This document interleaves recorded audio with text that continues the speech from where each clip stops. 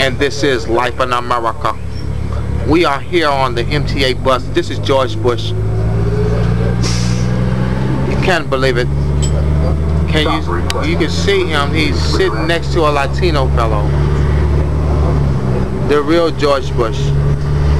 He's shaving himself with a razor, no shaving cream, and this is Life in America.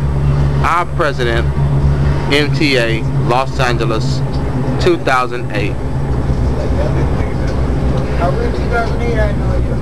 And this is Life in America.